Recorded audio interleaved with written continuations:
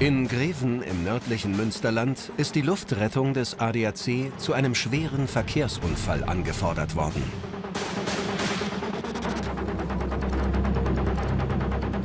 Was haben wir denn für eine Einsatzmeldung? Äh, VU meine ich. Ich habe mich so auf die Landezone konzentriert. Alles ich meine, es war ein VU. Mein Name ist Markus Grebe, ich bin 52 Jahre alt. Seit äh, 2005 bin ich in der ADAC Luftrettung tätig, war vorher bei der Bundeswehr Pilot.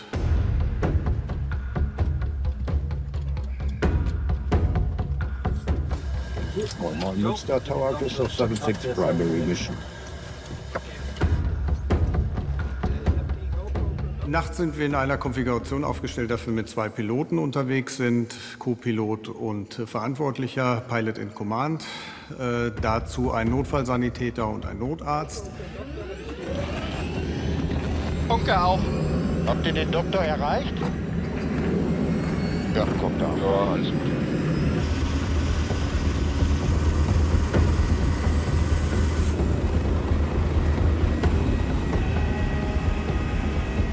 Mein Name ist Oliver Weber. Ich bin Facharzt für Anästhesiologie mit Zusatzbezeichnung Intensivmedizin äh, und äh, Notfallmedizin. Bin vor nicht ganz äh, drei Jahren gefragt worden, ob ich hier zu dem Team Christoph Westfalen stoßen würde. Habe dann mal zwei Nächte drüber geschlafen, weil es mit Höhen eigentlich gar nicht so mein Ding war. Hab mich aber beruhigt und bin jetzt äh, aber ziemlich froh, dabei zu sein. 101, FLI, check AOE, Hover Power, Blue Line. Alles gleich. Slip nach links raus, Nase geht dann äh, nach links Heck, wenn Heck rechts frei. Jawohl.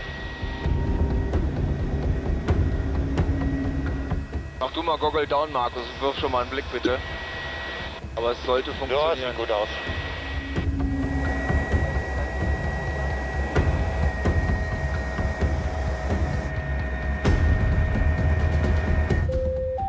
Ja, guten Morgen, der Christoph Westphalen ist auf dem Weg nach Aalen. Ähm, Frage, Feuerwehrhaus, Adresse am Feutershof, ist das korrekt?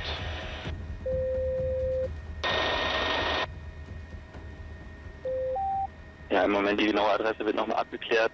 Primäre Einsatzinformationen für euch schon mal Radfahrer männlich, massiv unter PKW eingeklemmt, ansprechbar, Technikrettung wird gerade vorbereitet. Ich komme gleich nochmal mit der genauen Landeadresse an.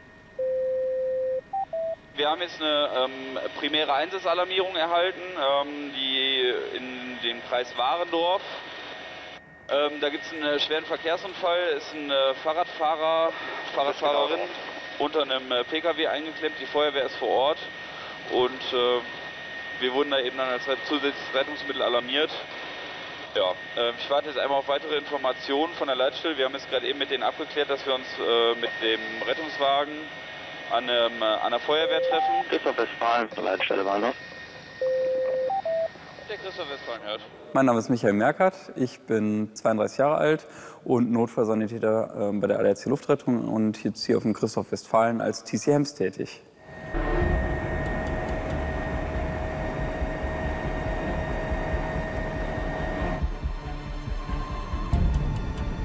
Münster, weil es auch Flugdienst Ja, ja. und Uhrzeitenmäßig abbildbar Aber wenn, wenn, wenn Münster nicht aufnehmen sollen könnte. Ja, wir haben ja in Münster zwei Häuser. Ja, ja, Clemens und Erstmal erstmal Uni. Uni und dann Clemens. Ja. Und wenn alle Stricke reißen, äh, klar, Dortmund Nord, Am Hesen. haben Hesen je nach Verletzungsmuster. Aber viel mehr Optionen haben wir dann schon auch nicht. Alles klar. Also Bochum ist, dann ist weiter, Ja. aber spritmäßig geht das alles. Okay.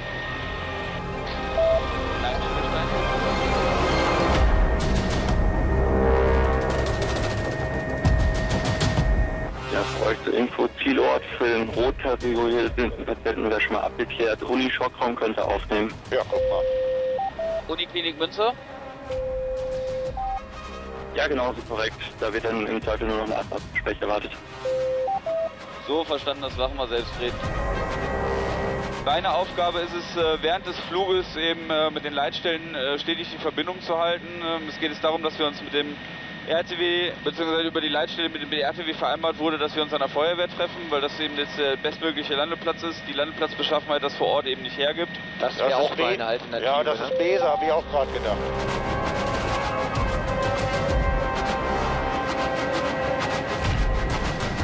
Kann Kann ich ein bisschen nach links? Ich habe hier ein Feuerwehrfahrzeug bei Ja, mir. ganz leicht, aber nicht zu sehr. Dann bleibe ich jetzt hier senkrecht runter, Frage. Ja. Okay, GTCH Mode ist set. Dann seile ich uns jetzt einfach mal schön runter. Mit zwei Piloten fliegen wir nachts, weil es einfach sicherer ist. Da gibt es eine ganz klassische Aufteilung, dass ein Pilot der Pilot ist, der die Maschine handelt und fliegt und der andere im Prinzip, wir nennen das das Büro machen, Navigation, Funkverkehr und halt dem Flug durchführenden Piloten zuarbeitet.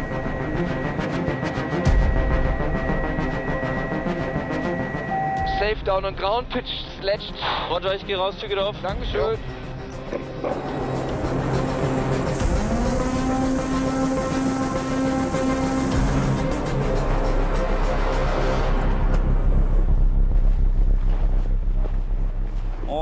Hätte aufgrund der Einsatzmeldung gestern auch nicht garantiert gewesen, können wir da wirklich landen. Da war die Lage mit den Hochspannungsleitungen sehr, sehr unsicher. Ähm, Und der Landeplatz bei der Feuerwehr in Aalen war bekannt. Wir hatten dort ein entsprechendes äh, Shuttle-Fahrzeug, was uns dann transportieren konnte. Und ähm, dann haben wir uns dann dafür entschieden.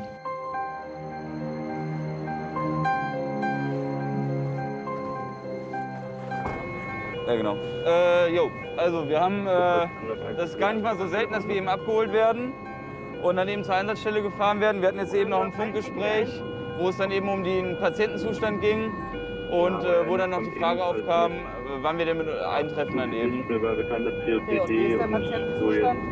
Ja, Patientenzustand ist aktuell, der ist wohl noch eingeklemmt und ähm, sei aber kreislaufstabil, aber wir lassen uns da jetzt gleich mal, müssen uns das vor Ort mal anschauen dann. Ne? Rechts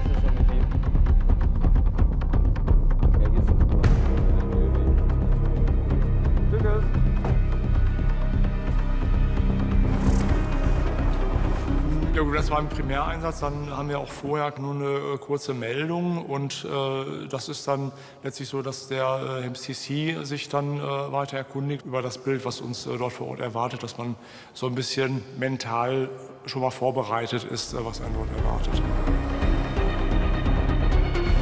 Den linken, ja? Oder was? Nee, nee, nee, hier ist auch keine. Achso, die, die liegen noch? Ja, nein, die, wir müssen zum RTW ganz hinten. Achso. Da war der, hier ist der Fahrer drin.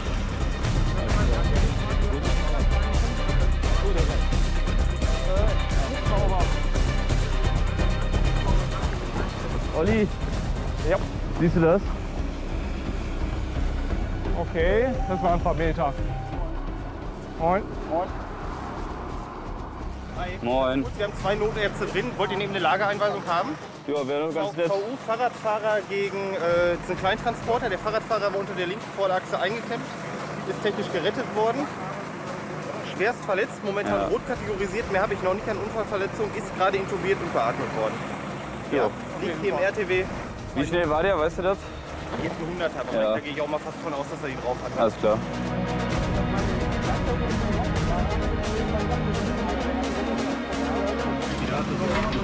Hallo. Guten Morgen. Kollege?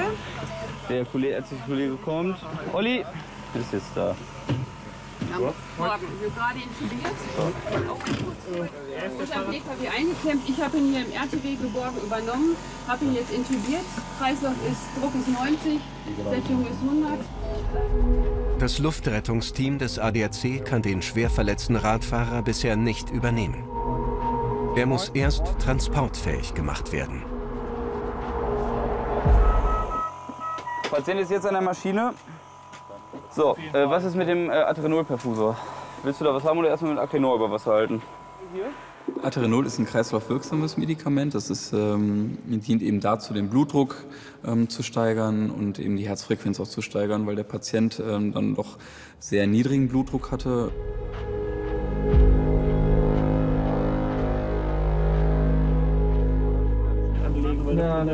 Nein, wir bleiben hier drin und wir fahren dann zu, äh, fahren mit dem Auto rüber. Jo, danke. Okay, machen wir mal Beckenschwinge dran. Könnt ihr einmal manuell inline stabilisieren den Kopf? Den Kopf noch manuell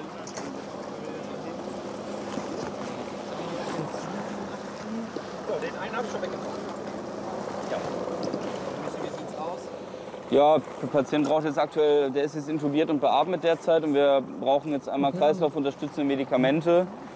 Und äh, dann würden wir gleich mit dem RTW, das hatten wir schon mit unserer Besatzung auch abgeklärt, ähm, dann zu unserem Hubschrauber zurückfahren. Genau.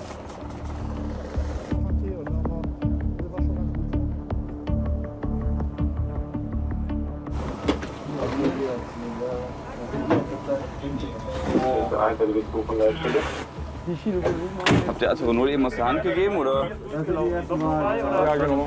Was suchst du denn? Ateronol oder so hast du. Ich habe jetzt, ein Ateronolperfuser.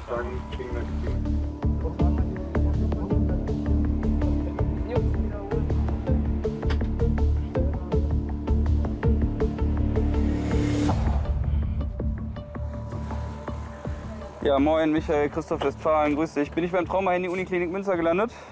Perfekt. Darf ich dir einmal was zum Patientenzustand erzählen? Perfekt. Ähm, Patient männlich, schätzungsweise 45 Jahre, Zustand nach äh, ja, Verkehrsunfall mit, mit Auto, ca. 100 km/h.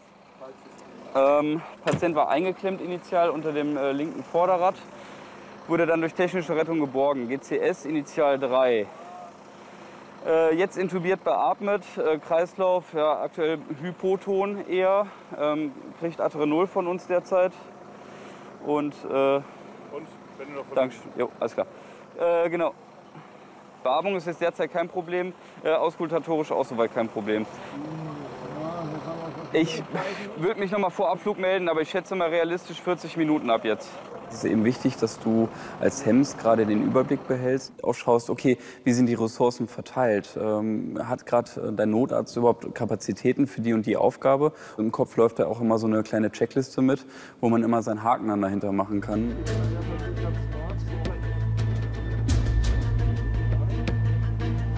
Ach, du hast unser Monitoring schon dran, oder was? Ah, Nee, noch, dran ist noch nicht äh, Ah, okay. auf. Nur drauf. Blutdruckmanschette fehlt noch. Die kommt jetzt. Und Kapno. Olli, wenn du willst, können wir dann auch los, ne? Ja. Bin, sofern von dir okay? Braucht ihr noch Hilfe? Sonst gucken wir dass wir unsere Sachen haben hier. Bisschen Unbedingt. Blutmanschette einmal tauschen eben.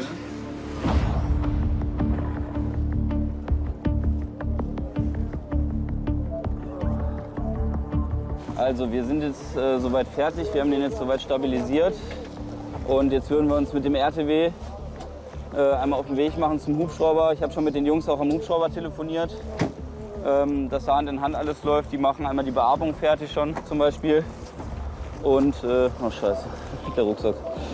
Und äh, ja, dann kann es weitergehen. Schätzt du die Chancen, dass er durchkommt? Ja, gut, wir schauen, kann ich jetzt nichts zu sagen.